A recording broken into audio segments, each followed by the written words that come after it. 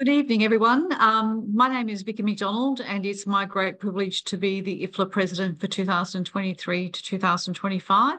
And I'd like to welcome you to our second uh, town hall for April. And um, I can see that we have lots of colleagues from across the globe joining us this evening. And if you could put in the chat where you're coming from, that would be terrific.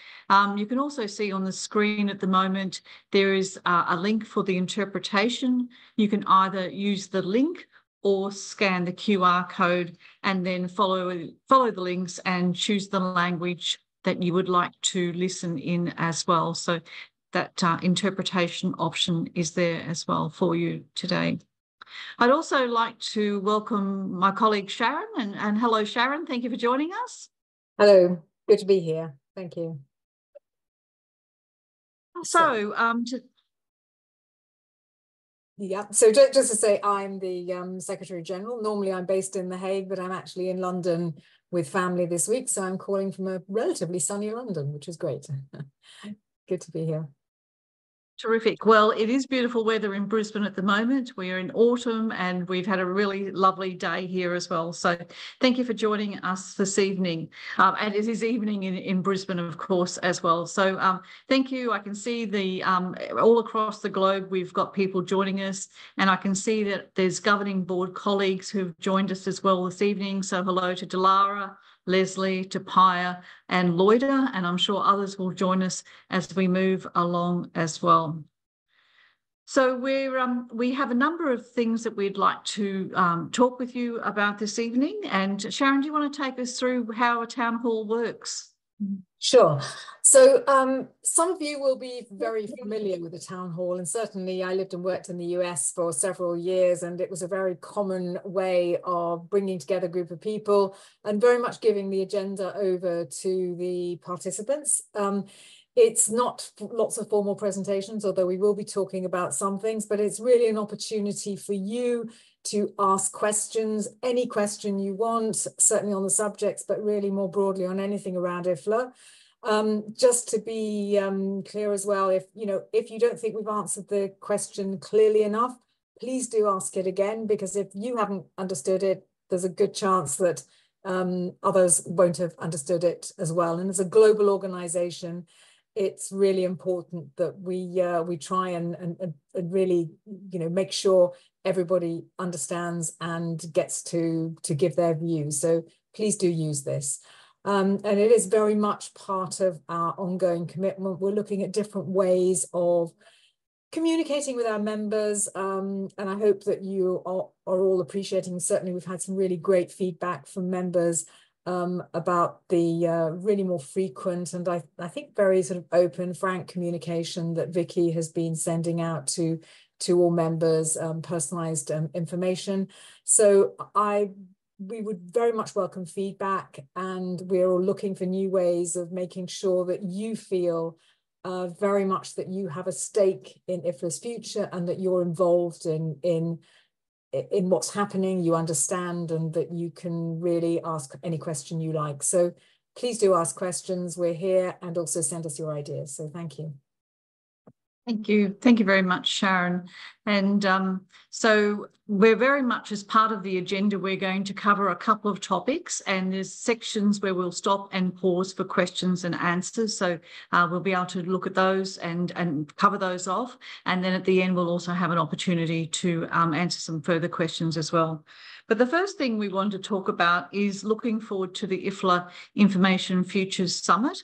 Um, it is a new event format for IFLA and it's very much about trying something new. Um, I'm quite excited about it. We're going to be having the, the summit in my hometown here in Brisbane in Australia. Uh, it's a beautiful time to be visiting Australia. It will be spring and, um, and so really looking forward to welcoming colleagues from across the world to come to Brisbane. What's different about this summit in relation to the annual World Library and Information Congress that it's very much a curated program. We've carefully curated the speakers and the themes that will be covered in the summit across the three days.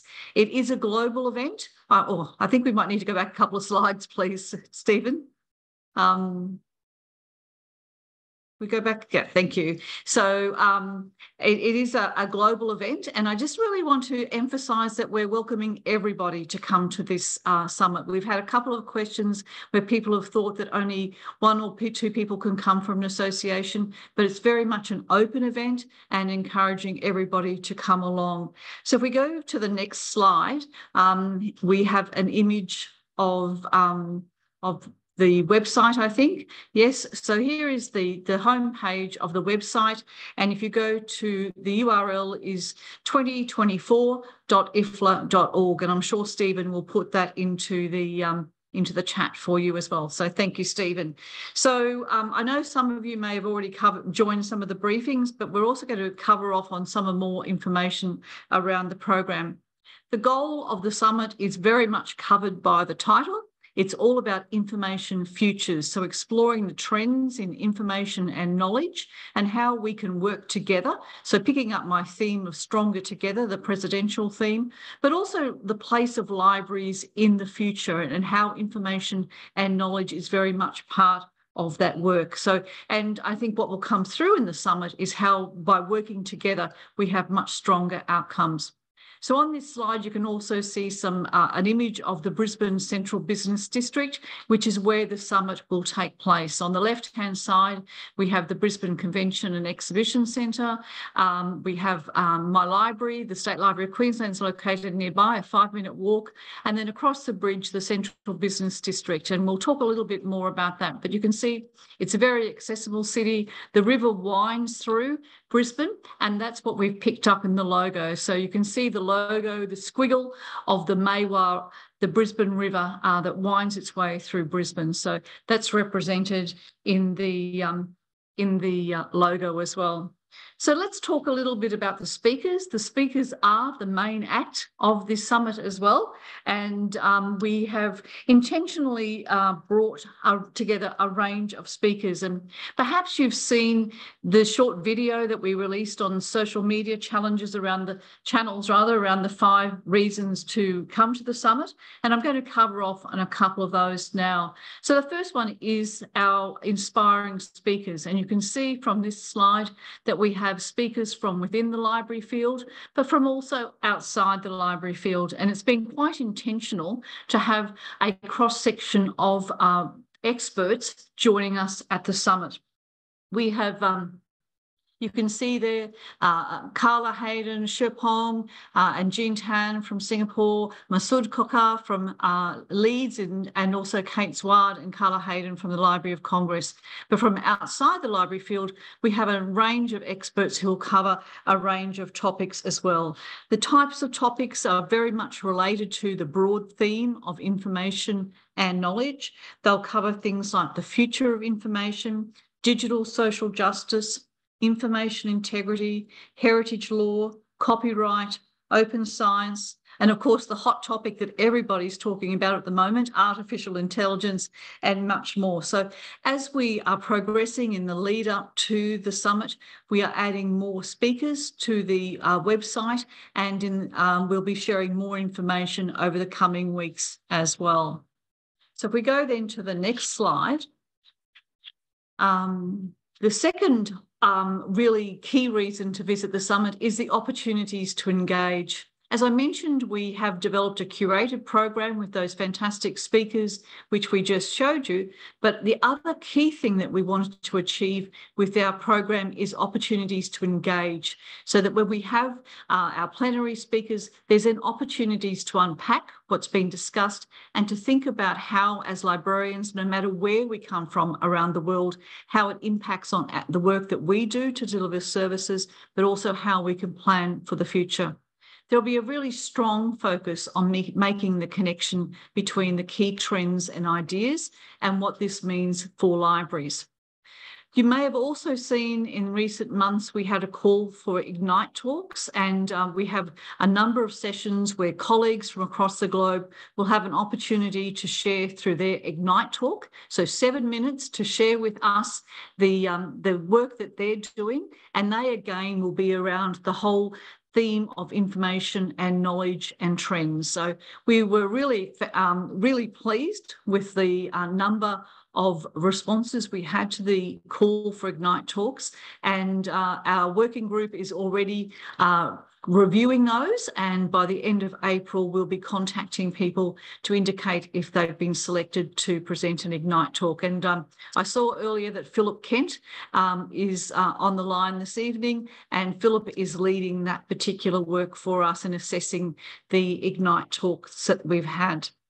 We'll also have a range of different opportunities to engage in the program. We're trialling some different things. Um, so as you may know, we're currently undertaking a review of the Congress model. So this summit gives us an opportunity to try some different formats. So we'll have the plenary sessions, but also uh, panel sessions and something called open fish bowls. So I think that'll be something different for us to try as well with the program. So if we go to the next slide, um, a real highlight of the summit will be the releasing the IFLA trend report for 2024. And this is the first major release of a trend report in a decade. So quite a major update. Um, and we've been working with two internationally renowned uh, experts in the field of information and knowledge, uh, Professor Michael Dezuanni and Associate Professor Kim Osman from the Queensland University of Technology. And Michael and Kim have done a fantastic job of scanning uh, trend reports from across the globe to identify this single trend report on information and knowledge. They've uh, also been working with our uh, steering committee with representatives from across the globe because we really wanted to ensure that we actually represented the global scene and, uh, and have that focus around information and knowledge. In the coming months, we'll also be releasing some scenarios for libraries around these trends, which actually gives an opportunity to be thinking about those trends before you attend the summit in September. So the trend report provides a really key reference point and actually sets the context for much of the summit. So I, I, am personally very excited about the trend report. I know in my library at the State Library of Queensland, we do use these um, trend reports to influence our strategic planning. And I think this document will be a really key part of that planning going forward for us. So, um, and as I said, that will be released at the summit as well. So we go to the next slide. The other important uh, report that will be released at the summit is the new IFLA strategy for 2024 to 2029. So I hope you may have taken the opportunity over the last few months to respond to the five pulse surveys that we've had. And that's where we've sought um, input from our IFLA members, volunteers and colleagues on what they see as the priorities for libraries moving forward. Um, next week, the governing board will meet in The Hague and we'll be discussing the first draft of the of the IFLA strategy. So again, for me personally, in the work that I do, um, this strategy that IFLA has also influences our strategic planning. So it'll be an important uh, report to, to release at the summit as well. As I'm talking, if you've got questions, do please put them into the chat and we'll break um, before we go on to the next topic to look at some of those questions. The other um, part of the summit is, of course, our tours of libraries. Um, although um, this isn't a WLIC, we do know that when librarians travel the world, they love to check out libraries. So uh, we've organised some explorer tours. These are self-guided tours because Brisbane is quite an accessible city, uh, which will enable you to visit a whole range of different libraries. And uh, my colleagues here in Brisbane and Southeast Queensland will be at the libraries to welcome you um, as well. So on this particular slide, we've got three very different libraries. On the left is the uh, Supreme Court building, and you'll have the opportunity to visit the Supreme Court Library. The middle image is at the State Library of Queensland, uh, Dhagun, which is our First Nations uh, space. And it's an outdoor space that we have an image of here, a yarning circle uh, around the fire pit. And um, Dhagun is a unique space within Australian libraries, which uh, shares First Nations history and culture, but is also a very welcoming space to community as well. And the image on the right is Ipswich Library. So Ipswich is a city just west of Brisbane, very easy to reach through transport. And Ipswich boasts Australia's only children's library. So again, whether you're interested in school libraries, public libraries, uh, state libraries or university libraries, there's a lot to see in the tours. So um, we'll be progressively releasing information on those tours. We're also introducing in Brisbane uh, what we're calling associated events because we know that many sections and committees want to take advantage of being in Brisbane. And so um, they're also listed on our website. So if you go to the program tab on the website, you'll see that there's already some associated events and there'll be more coming in the coming weeks as well.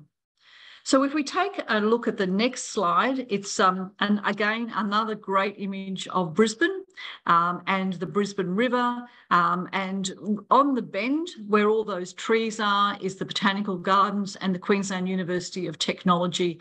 And QUT uh, will be one of the libraries you will be able to visit. We're also interested in doing some different things and enabling you to engage with Brisbane. And we'll also be releasing information about Read Brisbane. So uh, this is being led by uh, my colleague Jan Richards, who is also on the uh, call this evening. And uh, so we're releasing a lot of a list of books that have been written set in Brisbane. And uh, I know many of you will have already heard of Trent Dalton, uh, who wrote Boy Swallows Universe. But there's a whole list of other books that we're sharing with you and encouraging you to share what you think of these books about Brisbane. So again, this will be on our website uh, in the in the next week or so as well. So I guess as you're planning to come to Brisbane, you'll be thinking about what will participants take home? Um, so we're very conscious it's a very long way for some people to come to Brisbane, but I know that many people are very excited. It's been on their bucket list forever to come to Australia. Um, so we've also provided you some, um, I guess, some ideas around what you can take home from the summit. As I've said, we've got the trend report, uh, which will give you insights about the future of information, the trends that are occurring across the globe. Oh, we've just lost, there we are. And um, also as I've said, there's plenty of opportunity for panel sessions, workshops, fish bowls, um, Ignite talks to actually um, hear about what other libraries are doing and practical ideas that you can apply to your own institutions and associations. For me personally, I think one of the great things about uh, attending any IFLA event is the opportunity to connect from colleagues across the globe.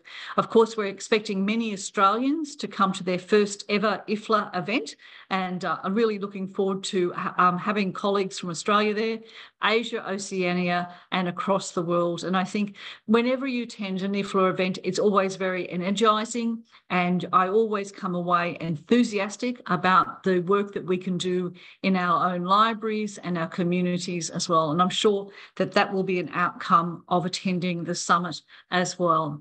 Um, so I've just seen a comment, it sounds like a WLIC.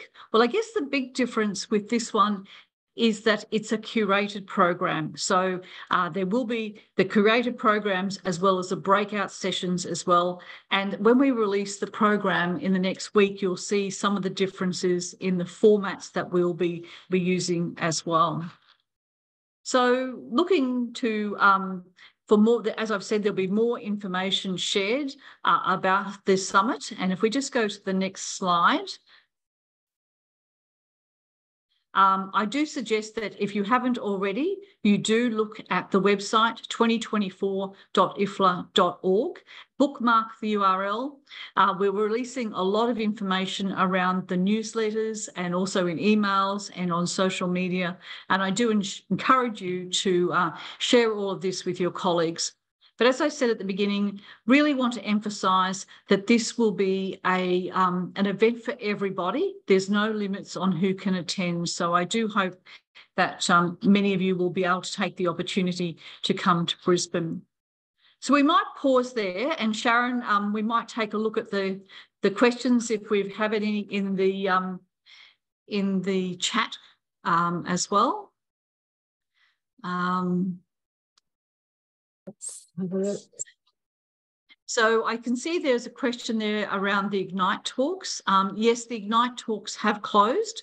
Uh, they were open, I think, for about six weeks, and the um, the evaluation group is currently reviewing the Ignite talks, and the timeframe is for uh, people who uh, submitted will be advised by the end of April around the outcomes of that. Mm -hmm. Um, I can see there's also a comment around the centenary of IFLA, uh, um, which is a few years away yet, so 2027. And I think we'll be sharing some information about that following the April governing board meeting as well. So thank you for your question, Winston. Uh, but we've certainly already commenced our planning around uh, the 20 the centenary in 2027. There are a couple of questions on the Q&A. Mm. So can... I, I, might, um, um, Sharon, there's a question here. Can I ask how an individual member can become part of working for IFLA as part of the voluntary services? Um, as part of the vol as, as a volunteer, well, I, think there you um, simply need to look, we'll be actually doing the elections fairly soon, um, but it, look at the opportunities of standing and getting involved already in some of the groups and the specialist groups. So I think it depends what you're interested in. Perhaps what you could do is maybe uh, send me an email or a message separately afterwards, uh, the area of interest that you um, you want to look at, and we'll then try and direct you to the right person. Sure. I can see there's also a, a couple of questions um, asking about um, funding opportunities to attend the summit. So the website does provide some details on several grants that are available at the moment, and we're hopeful that we will be able to provide more grants as well. And uh, we'll update information on the website as they become available and also share that information in our newsletters um, and social media as well. So I can see that we've got Gulcin Cribb, um, who are in the chat as well. So Gulcin is part of the organising committee uh, and is also leading the volunteer coordination as well. So thank you, Gulcin, for sharing, uh, joining us today. Uh, Stephen has just added the link for the grants. Uh, so I know a couple of people were asking about those as well. Mm -hmm.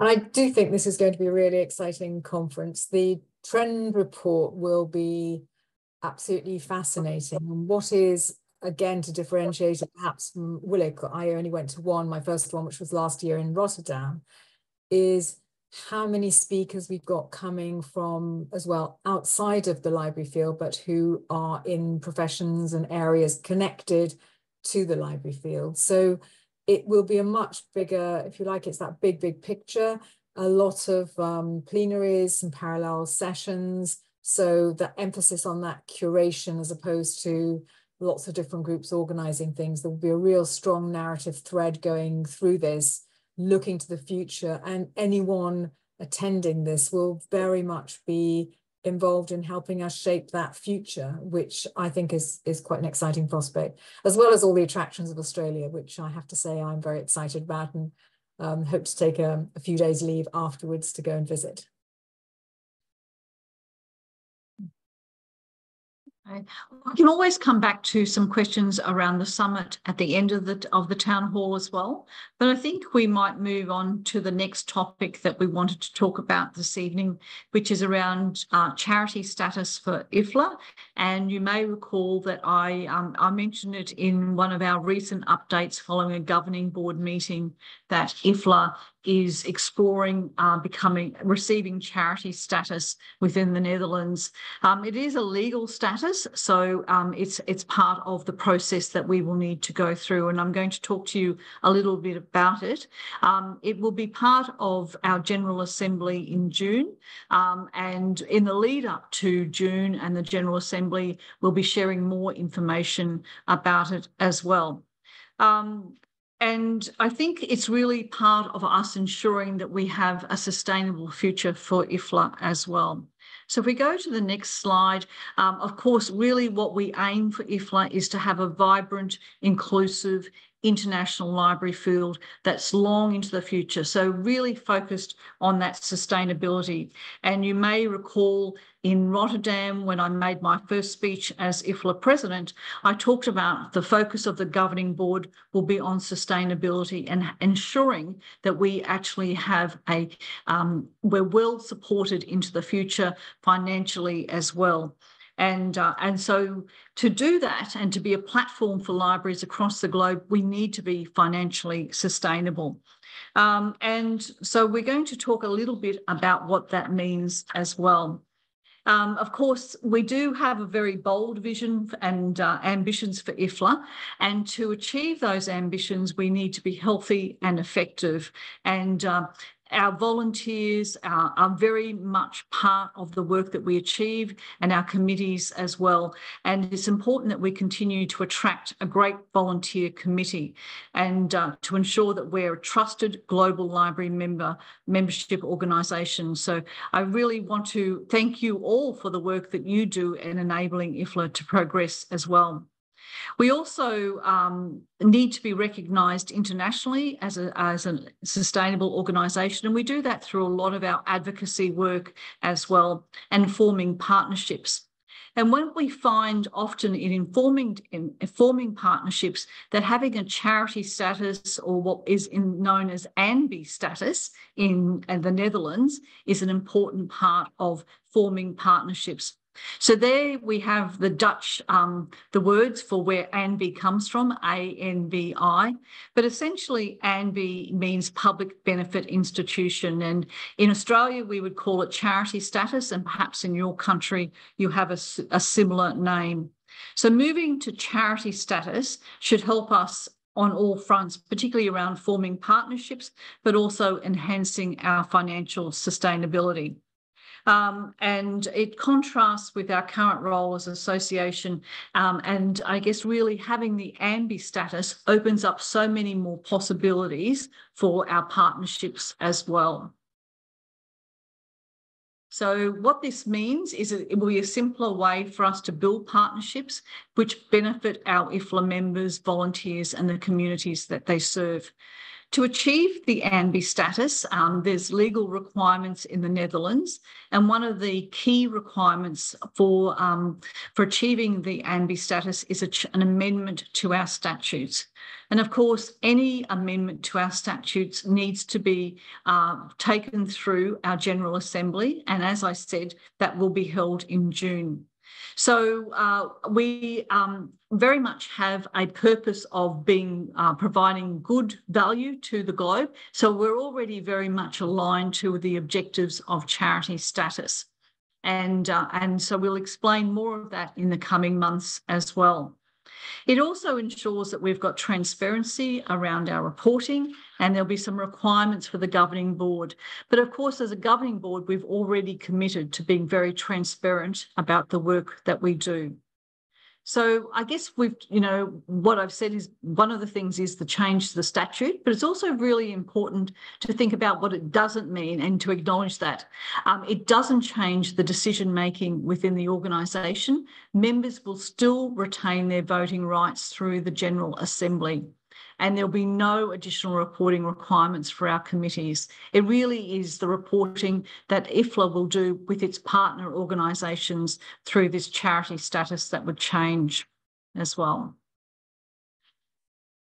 So the timeline, um, as I did say earlier, the governing board is meeting next week in The Hague. So the governing board will discuss the proposed amendments to the statutes.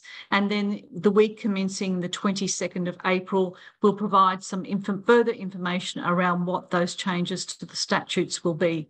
Um, and of course, following every governing board meeting, I always release a statement of what has been discussed at the governing board, and we'll do that again for um, this statute change. In May or in June, we'll again provide some special sessions online where we can talk through the wording of the statute change that we will be proposing, and that will be an opportunity for members to ask questions and to explain it as well. Um, and then the voting for the change to the statute will occur on the 20th of June. Um, and following that, depending on the outcome of the voting, we'll then make the formal changes to the statutes. So I really, um, I guess I really just want to stress that this is a legal requirement within the, the Netherlands. To achieve charity status, we are required to have a slight change to the wording in the statutes. Um, and as we progress towards the 20th of June, we will have a number of opportunities to brief members on the proposed statute change, um, and that can occur after the governing board meets next week as well. So I'm happy to take some questions on that particular topic and we'll just, um, I'll just need to go to the back to the questions.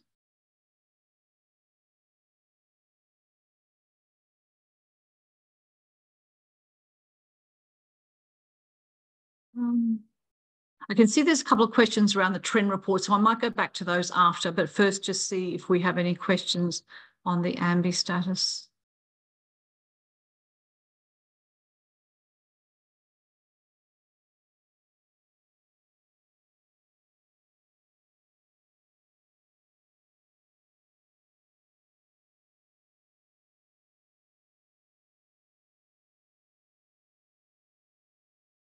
So we do have a question around where will the General Assembly be held?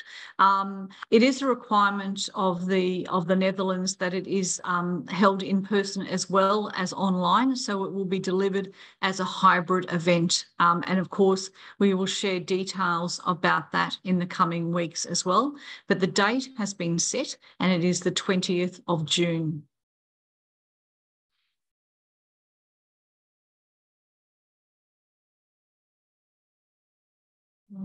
So they seem to be the only questions specifically around the um, the ANBI status.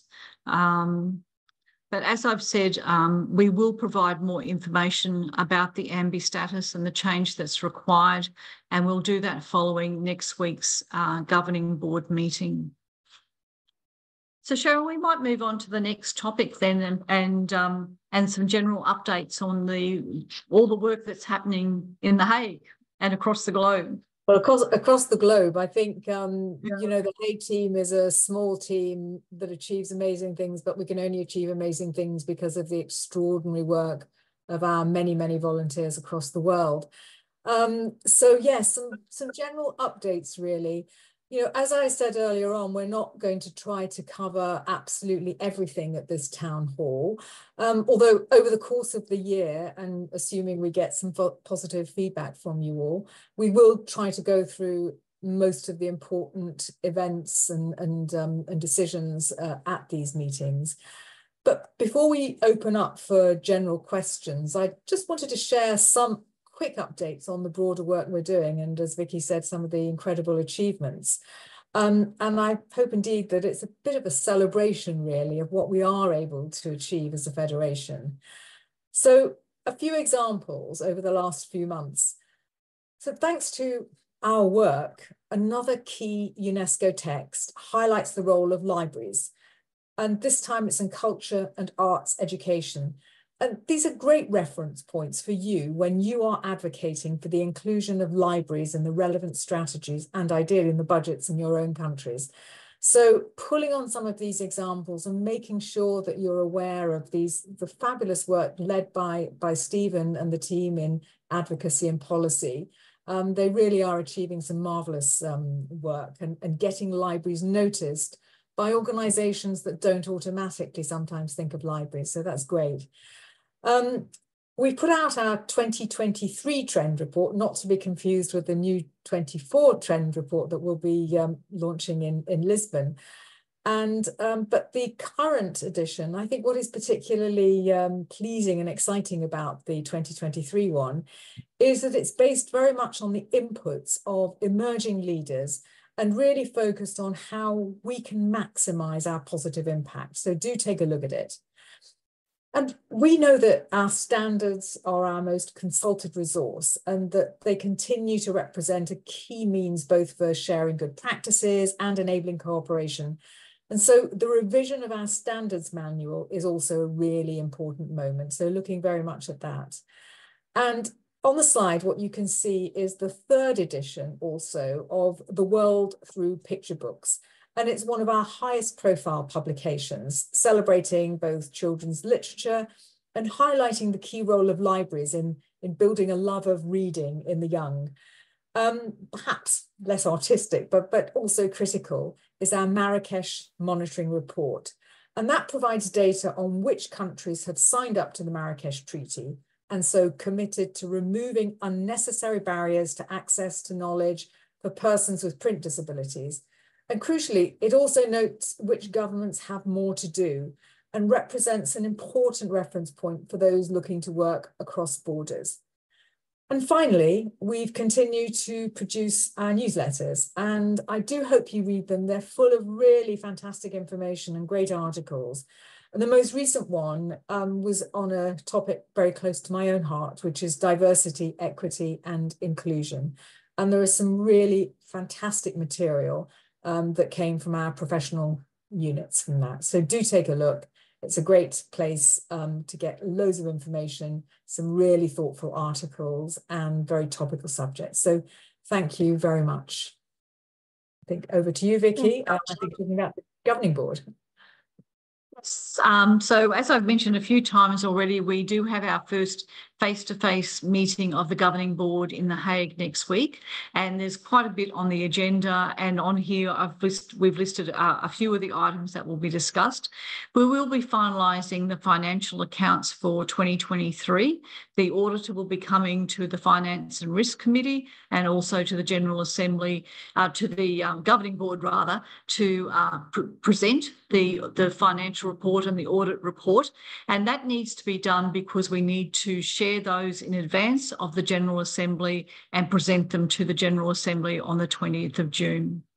As I mentioned earlier, of course, uh, the future sustainability of IFLA is something that the governing board is very interested in, and we'll be having a workshop around how we actually ensure that we have a sustainable future looking towards ahead um, in the decades ahead. Uh, we have a workshop on, uh, on one of the afternoons to explore that particular topic. We're also very focused on our governance and transparency.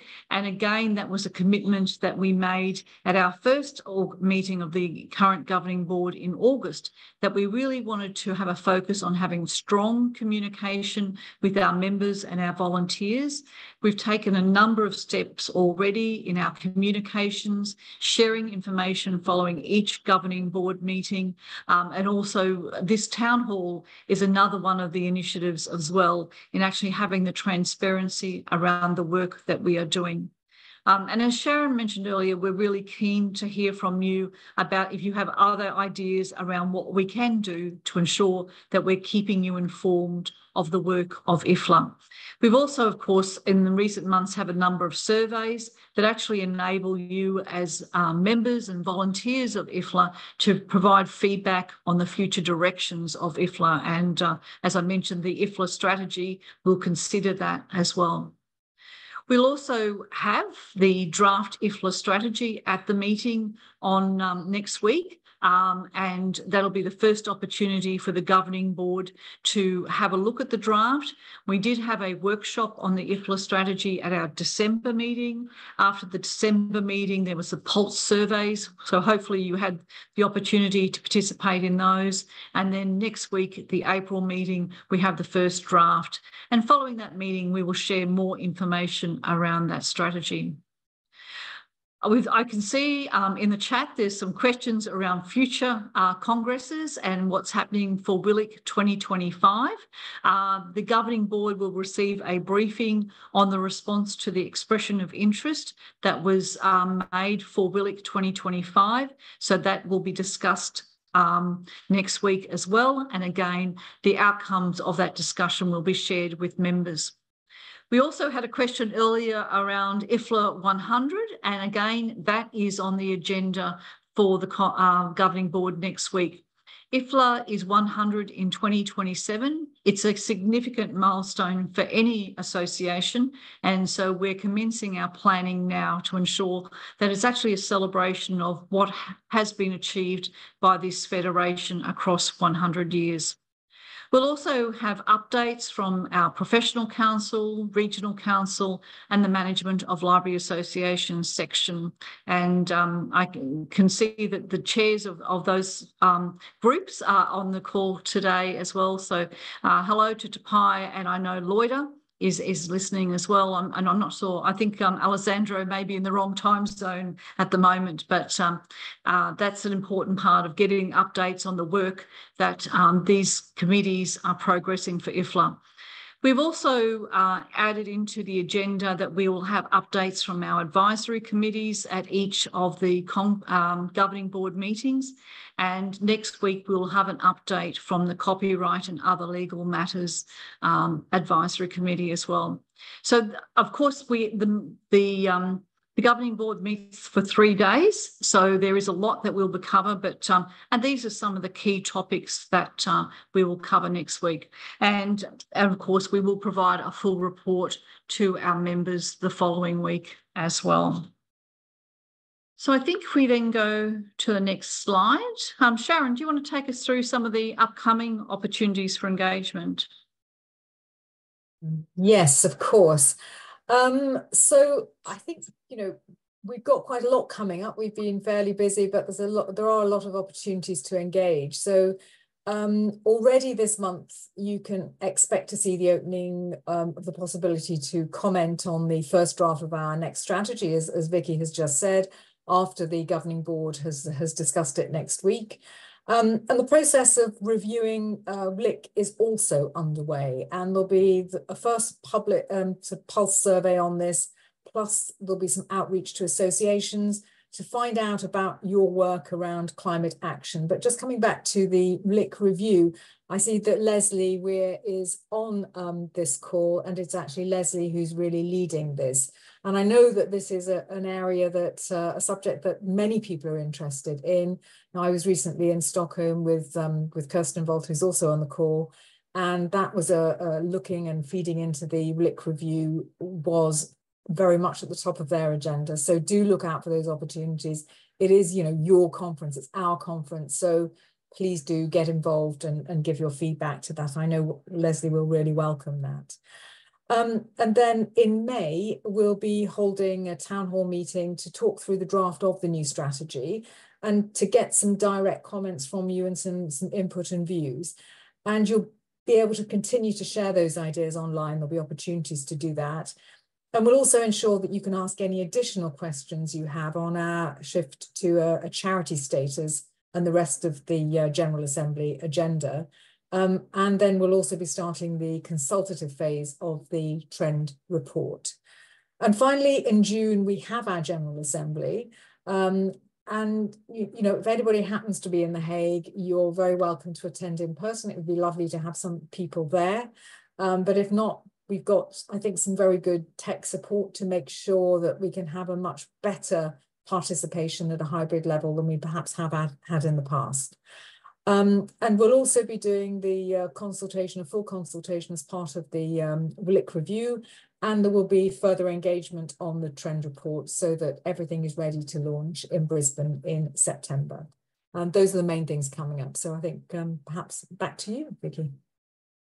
Thank you very much, Sharon. Certainly a lot happening, and uh, um, it's fantastic to see the work that's being progressed um, across the globe by both the IFLA team, but also all of our members of committees as well. So we now do have some opportunity to um, look at the questions that um, we've received. Um, it's it's um, it's always interesting doing these things on online platforms. You have so many different spaces you need to look. So um, I'm just going to skim through the chat um, so there was a question around um, will there be a facilitated discussion on Indigenous issues? So um, from Winston. Um, so yes, I guess I, I do think that um, Indigenous issues will come up, uh, particularly around uh, decolonisation, cultural heritage, uh, Indigenous languages, preservation, those sorts of things.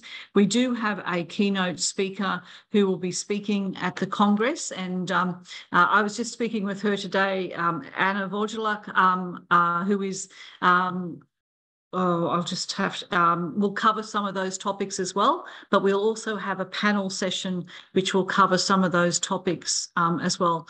I know that many people are very keen to see the detailed program, and so we will be able to release that on our website uh, next week, um, and that will give you the details of when the plenary speakers are speaking, um, and then how the panel sessions engage and also build on from those plenary sessions as well. Um, our opening um, our opening speaker will be uh, Marek Kowalkiewicz, um, and he will he's written a book on the economy of algorithms and the digital rise of the digital minions. Uh, so that whole whole topic of artificial intelligence that's uh, um, having so much interest across the globe will kick us off um, as well. And so on the first day, we'll be exploring the uh, the trend report. Um, we'll have the presentations by uh, Michael Dezuanni and Kim Osman and um, and then have opportunities to unpack the um, the trends in that trend report as well. Sharon, can you see any questions there that you wanted to respond to?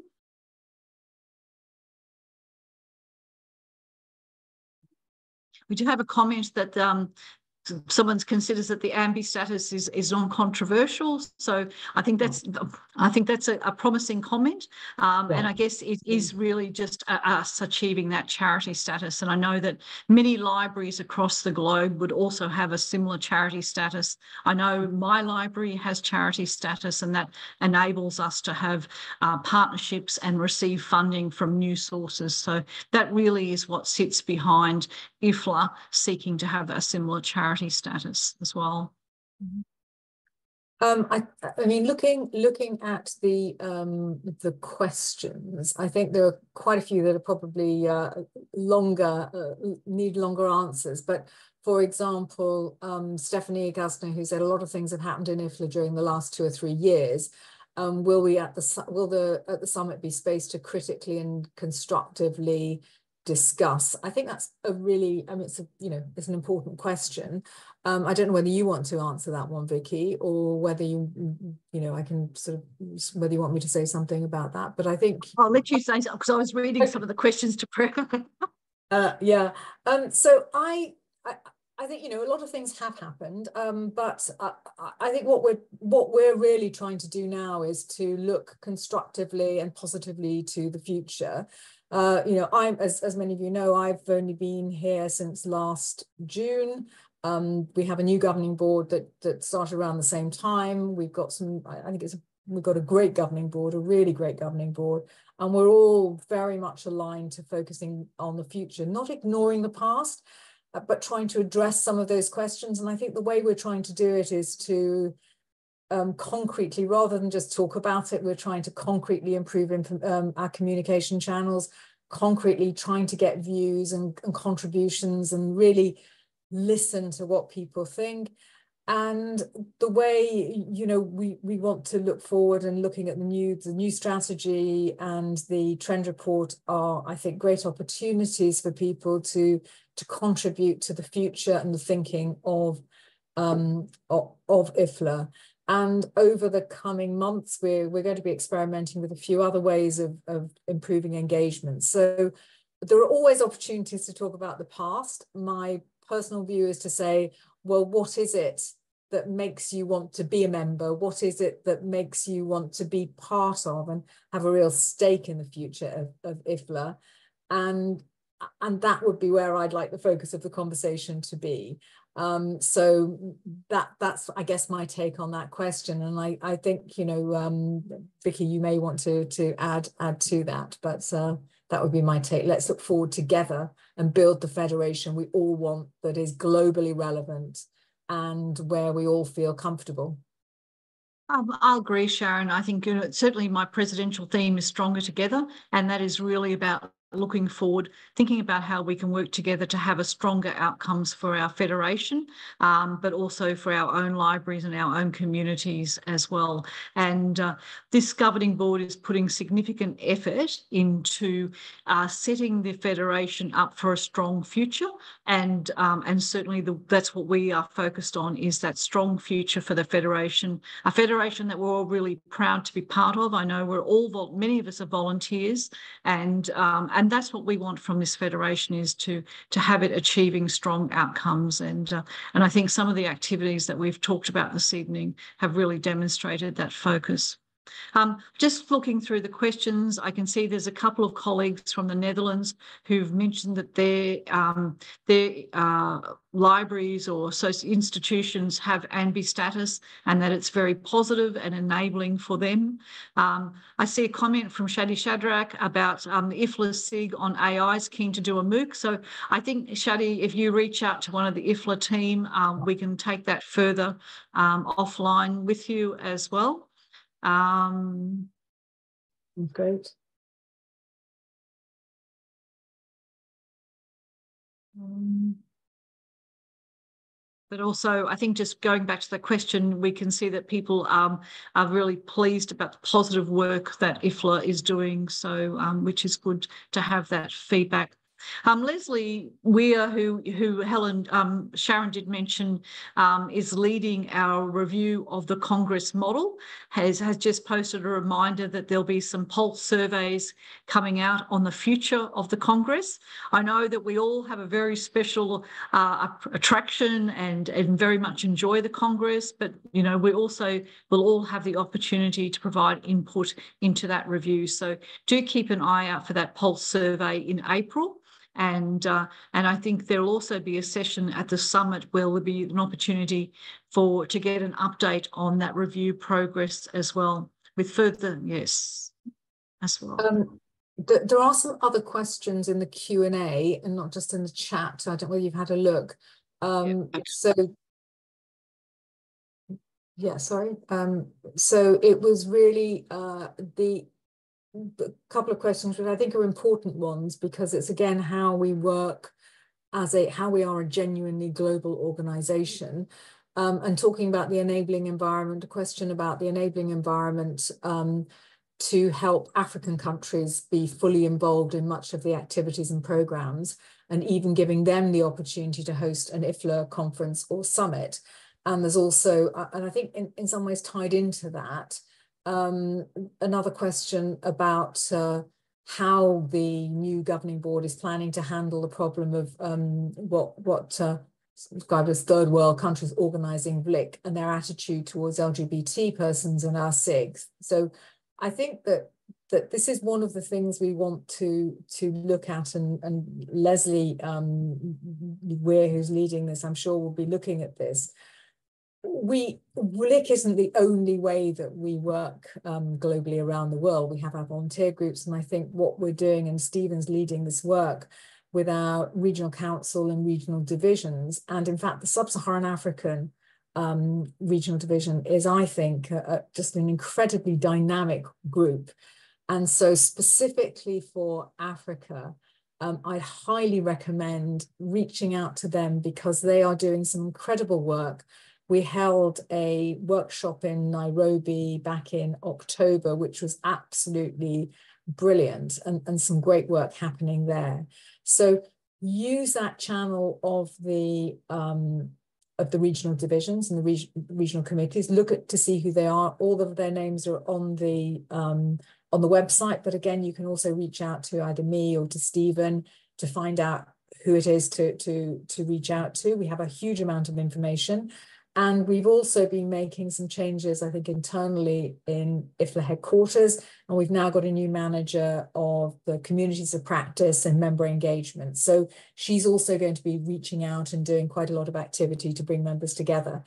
Um, and I, I, think the whole thing around, um, you know, I, we don't have the time to get into a, a major conversation about uh, LGBT issues, which is which is complex. Um, and but I do feel that what what we need to be looking at, and I know that this is an area we're, we're thinking about, is is to say it again, WLIC is not the only way in which we engage the world with the world. It is one of the vehicles. Um, it's an important one, but it's only one of the vehicles. And what we are really looking at is how we really engage um, and have meaningful events in different parts of the world. And and I, you know, the workshops we've done, which have been fantastic. I know that Loida, um, another governing board member, the MLAS chair who's on the call, uh, she and, and the group have been really dynamic in um, in developing um, a program and they've got a major event happening in Kazakhstan. So there are lots of things happening and I think it's looking at how the best way we can engage with every part of the world. Um, you know, a WLIC is a major event. It, it costs a lot of money to do and we it's never possible to do anything everywhere, but there are lots of other ways that every part of the world and every group and every interest can engage in what is our federation. This is our organization, and every voice um, needs to be heard. Um, I don't know whether you have Thank anything you. to add. Well, I was just going to say, you mentioned the Sub-Sahara group. I mean, I was it was fantastic to have the opportunity to attend their workshop in uh, Nairobi last October, and I can see just from that one gathering how much work has been progressed by by that group coming together. So I think they can be congratulated and it just shows that you can come together in many different ways to progress work. Um, one question that I did want to answer because I have seen it come up a few times. Uh, there's been some questions around um, what will be available online from the summit. So we will have the opening and closing sessions available on YouTube. Um, and so people will be able to access those um, after the summit as well. So that was a question that we've had asked a couple of times as well. Mm -hmm. um, oh, Stephen, does that mean you want to? Oh no, it's open questions. Okay, that's fine. Sorry, I saw a message on the Q and A and thought you might want to you might want to say something too. Um, I think do you think that we've covered many of the questions. Um, um, that have been asked. Um, I think that the key thing I really want to emphasise is that we will continue to have these opportunities, the town hall sessions where people can join us and ask questions. Uh, you can submit questions in advance as well, uh, which we did have some and we've addressed those. So um, that is um, really important. Um, and um, I see there's a question around visas. Um, we we uh, made some arrangements with the uh, Department of Foreign Affairs in Trade in Australia, who handle visas, um, and registered the summit with them, which will help facilitate some of the visa work um, as well, and hopefully uh, make it a little bit easier. I know for some countries, it, the visa in different countries can be quite difficult, so we're really looking to to see how we can work to support colleagues from different countries to um, access their visas. And that information will be updated on the website as well. Um, but as I was saying, we will continue to have uh, really frequent uh, information around the summit, but also the work that we're progressing. And certainly in the lead up to the General Assembly in June, we'll share a lot of information around what will be covered in the General Assembly as well. So Sharon, before I end, is there any other questions that you can see that we haven't um, responded to? I think we've got most of them uh, now. Um, I'm just checking actually on the questions we, we got in advance um, to see if there's anything that we have missed. Um, See, yeah. there's a comment around WLICs being hybrid, and I think that is part of. So, thank you very much for to Samoja for that question. I think they're very much the sorts of things that Leslie will be looking. Leslie and the group that are working with her on the WLIC review will be looking at is what are the options for WLICs in the future? Um, how do we ensure that they're sustainable? Um, congresses are very expensive events to deliver, um, and uh, I know that there was a comment earlier around around it's difficult for some countries to host a WLIC. So these are all the sorts of things that the WLIC review needs to consider.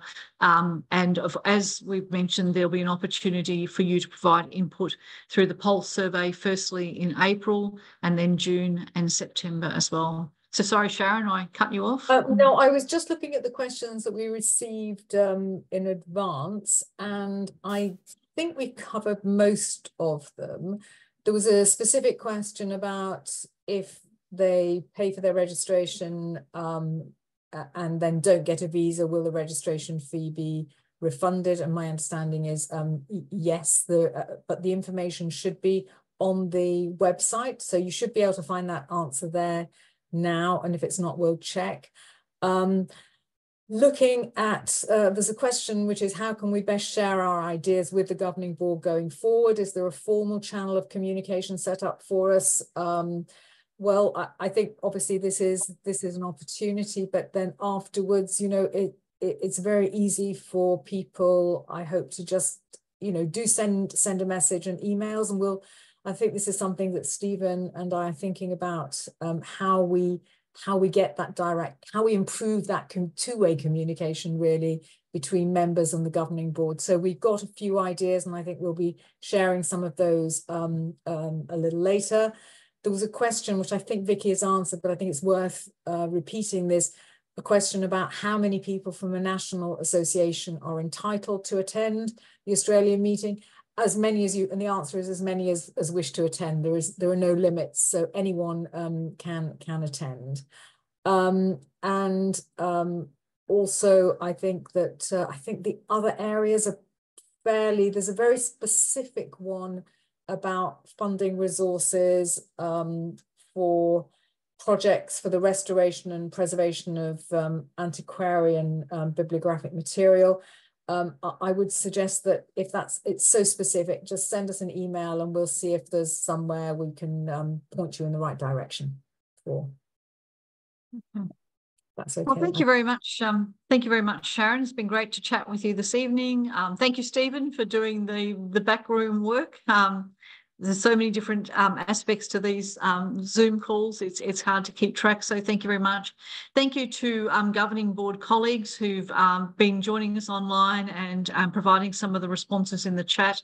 And uh, and thank you everyone else for joining. It's fantastic to see so many people coming online, interested in the work that IFLA is doing and asking questions. And and as I said, we will um, we do meet in the Hague next week, and the week following we'll be sharing uh, the outcome outcomes of that meeting with you and what further opportunities there are for you to contribute to the work that we're doing. So I do hope to see you in Brisbane uh, in September, October.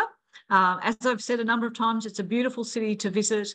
Uh, there's so much to see in Australia, um, and it is also a beautiful time of year with spring as well. So I look forward to seeing you online again very soon. Thank you very much. Thank you very much. Goodbye. See you soon.